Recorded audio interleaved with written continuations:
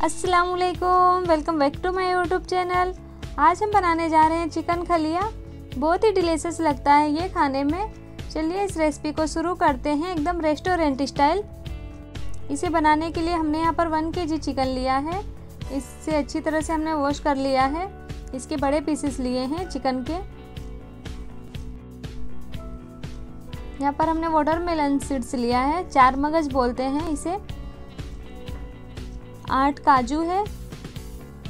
हमने नारियल को इस तरह से स्लाइस कर लिया है ताकि ग्राइंड करने में आसानी हो। यहाँ दो टमाटर लिए हैं और हरी मिर्च इसकी प्यूरी बनाएँगे। प्याज का हम बिरिस्ता बनाएँगे। यहाँ कुछ खड़े मसाले हैं। वन टीस्पून काली मिर्च है। वन टीस्पून साबुत जीरा है। हमने यहाँ पर लौंग लिया है। सात आठ एक स्टार है। पत्थर के फूल हैं। जावित्री है, एक बड़ी इलायची है। इसे बादियान के फूल भी कहते हैं। इसका हम पाउडर बना लेंगे सभी मसालों का। हमने कुछ स्पाइसेस लिए हैं। यहाँ हमने धनिया पाउडर लिया है one teaspoon one teaspoon Kashmiri लाल मिर्च है। हाफ़ टी स्पून हल्दी पाउडर है। नमक अपने टेस्ट के अकॉर्डिंग डालिए। वन टीस्पून लाल मिर्च है, तीखेपन के लिए। यहाँ कुछ खड़े मसाले हैं। यहाँ पर हमने फ्रेश दही लिया है फाइव टीस्पून के करीब। हम प्याज को इस तरह से स्लाइस काट लेंगे बिरिस्ता बनाने के लिए। जब भी आप प्याज बिरिस्ता के लिए काटें, बारीक इस तरह से काटें, अच्छे से बिरिस्ता बनता है और एक बराबर कटता है। हमने कढ़ाई में ऑयल डाल दिया है ऑयल भी गर्म हो चुका है, प्याज डालेंगे। बिरिस्ता बनाने के लिए जब भी ऑयल गर्म करें ऑयल एकदम अच्छे से हीट होना चाहिए। तभी भी रिश्ता अच्छा बनता है। प्याज को हमें हल्का पिंक ही निकालना है। देखिए, कलर चेंज हो गया है, अब हम इसे निकाल लेंगे। अगर आप इसे ब्राउन कर कर पूरा निकाल लेंगे तो ओवर कुक हो जाएगा और प्याज कड़वे लगेंगे, सालन काला हो जाएगा।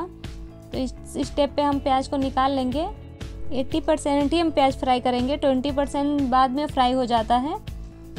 हम खड़े मसाले डालेंगे। हमने ऑयल कम कर लिया है उसी कढ़ाई में। इसमें हम चिकन डालेंगे।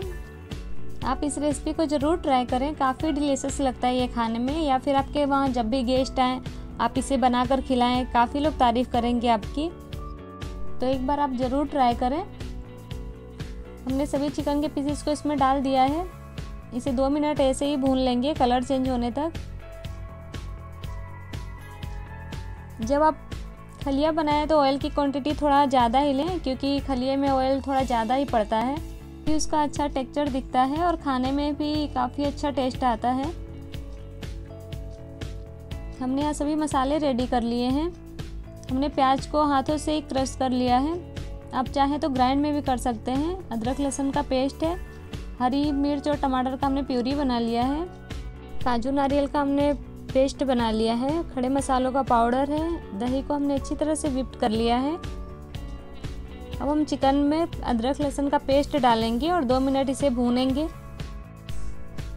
अब चिकन में अदरक, लहसुन की क्वांटिटी थोड़ा ज़्यादा लें। उससे अच्छा फ्लेवर आता है। इसे अच्छी तरह मिक्स करेंगे और दो मिनट के लिए हम इसे कवर कर देंगे।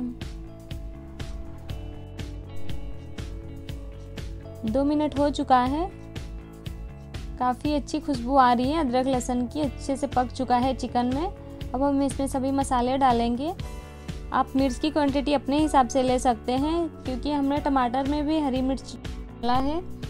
और मिर्च का हमने पाउडर भी लिया है तो आप तीखा जैसा खाना पसंद करते हो, मिर्च की क्वांटिटी अपने हिसाब से ले सकते हैं, कम ज़्यादा कर सकते हैं।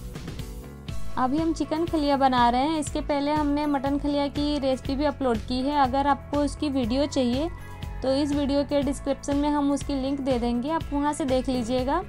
और मटन खलिया जब बनाएँ, उसके लिए मोटे तलवे का तपीला या भगोना लें। आप उसमें बनाएँ। मसाले अच्छी तरह से मिक्स हो चुके हैं। चिकन में हम इसे 20 मिनट के लिए कवर कर देंगे और ऐसे ही कुक होने देंगे। ताकि चिकन में मसालों का फ्लेवर अच्छी तरह से एब्जॉर्ब हो जाए। इसे कवर कर देंगे। 20 मिनट हो चुका है। अब हम इसमें दही डालेंगे विप्ट किया हुआ। अब जब भी दही डालें, अच्छी तरह से विप्ट कर कर डालें। हमने यहाँ पर एक मिस्टेक कर दी है। पहले हमें काजू का पेस्ट डालना था। हमने दही डाल दिया है। आप पहले काजू का पेस्ट डालें, उसे अच्छी तरह से मिक्स करें। और दो तीन मिनट के लिए अच्छी तरह से भून लें। उसके बाद दही और विरिस्ता डालें। हम काजू का पेस्ट डालेंगे। आप ध्यान से डालिएगा, हमने मिस्टेक कर दी है। अब हम बिरिस्ता डालेंगे। बिरिस्ता आप जब भी डालें, हाथों से क्रश कर कर डालें या फिर ग्राइंड कर कर डालें। इससे ग्रेवी अच्छी बनती है, एकदम ठीक, गाढ़ी। अब हम इसमें पुदीना ऐड करेंगे। अगर आपको पुदीना पसंद नहीं है तो आप इसे अवॉइड कर सकते हैं बट इससे पुदीने से काफ़ी अच्छा फ्लेवर आता है। और हमें बहुत अच्छा भी लगता है इसका फ्लेवर।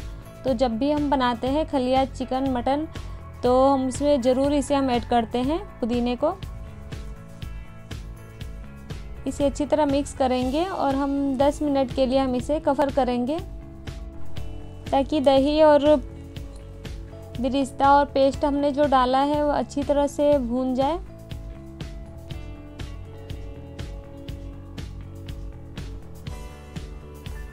अब हम इसे कवर कर देंगे और बीच में एक दो बार चला लेंगे।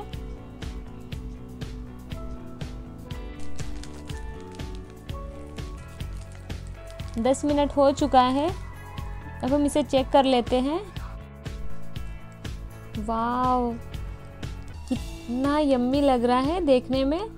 आप खाने की तो बात ही छोड़ दीजिए। देखिए कितना परफेक्ट बना है ये। इतनी अच्छी तरह से भून चुका है मसालों में। और चिकन भी अच्छी तरह से सॉफ्ट हो चुका है। हम पीसेस चेक कर कर दिखाते हैं।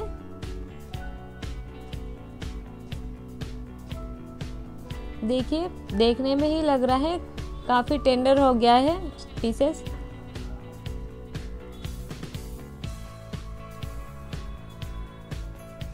हमने पानी बॉयल होने के लिए रख दिया है। अब हम इसमें पानी डालेंगे। हमने यहाँ पर सिर्फ़ एक कप पानी लिया है। आप ग्रेवी अपने हिसाब से बना सकते हैं, कम ज़्यादा कर सकते हैं। बट खलिए की ग्रेवी थिक अच्छी लगती है। इसे अच्छी तरह मिक्स करेंगे।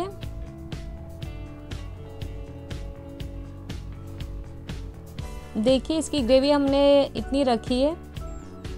अब हम इसमें धनिया पत्ती डालेंगे और इसमें उबाल आने लगा है। अब हम गैस की फ्लेम को बंद करेंगे। और इसमें स्मोकी फ्लेवर देने के लिए हम चार कोल जलाएँगे। हम इसे कवर कर देंगे और ऐसे ही 10 मिनट के लिए रहने दें। हम स्मोकी फ्लेवर देने के लिए हमने चार कोल का अंगारा बना लिया है। कढ़ाई के बीच के सेंटर में हम एक प्याली रखेंगे। इस तरह से। अब हम इसमें चारकोल डालेंगे।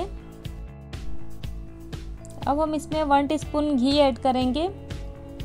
आप घी की जगह ऑयल भी इस्तेमाल कर सकते हैं। अब हम इसे कवर कर देंगे 15-20 मिनट के लिए।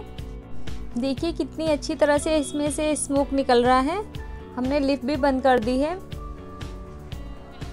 ताकि स्मोक बाहर ना निकले। एकदम रेस्टोरेंट जैसा इसमें टेस्ट आता है स्मोक फ्लेवर देने से। अब हम इसे निकाल लेंगे। बहुत ही इजी तरीके से हमने आपको ये बताया है रेसिपी आई होप कि आपको पसंद आया होगा।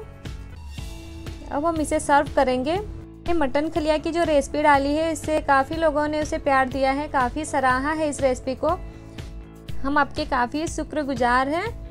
थैंक यू सो मच इसलिए हमने आपके लिए चिकन खलिया की भी रेसिपी एक अपलोड की है।